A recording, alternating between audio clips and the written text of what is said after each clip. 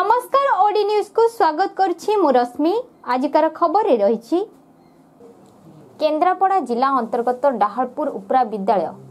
ମଧ୍ୟାହ୍ନ ଭୋଜନ ଅନିୟମିତ ହେଉଛି ବୋଲି ଅଭିଯୋଗ ଆଣିଲେ ଗ୍ରାମବାସୀ। ସ୍କୁଲର ପ୍ରଧାନ ଶିକ୍ଷକ ନିମ୍ନମାନର ଖାଦ୍ୟ ଦେଉଥିବା ନେଇ ଘେରିଲେ ଗ୍ରାମବାସୀ। ପିଲା କହିଲେ ଖାଦ୍ୟ ଠିକ୍ ଭାବରେ ଦେଉନାହାନ୍ତି। ସାର୍ ପଚାରିଲେ କହୁଛନ୍ତି ଏଥର ଭଲ ଖାଦ୍ୟ ଦିଆଯିବ? ବାରମ୍ବାର କହିଲା ପରେ ମଧ୍ୟ ସୁଧୁରି ନଥିଲା ଖାଦ୍ୟମାନ। ଯାହାଫଳରେ ପିଲା ଏବଂ ଅଭିଭାବକ ଭିତରେ ଅସନ୍ତୋଷ ଦେଖିବାକୁ ମିଳିଥିଲା ଏବଂ କିଛି ସମୟ ମଧ୍ୟ ଘଟଣାକୁ ନେଇ ଉତ୍ତେଜନା ପ୍ରକାଶ ପାଇଥିଲା। ଘଟଣାସ୍ଥଳରେ ଏବିଓ ଅଜୟ କୁମାର ସେଠୀ ପହଞ୍ଚି ବୁଝାସୁଝା କରିଥିଲେ। ପରେ ପ୍ରତିଶ୍ରୁତି ଦେଲା ପରେ ଘଟଣାର ତଦନ୍ତ କରାଯାଇ କାର୍ଯ୍ୟାନୁଷ୍ଠାନ ନିଆଯିବ।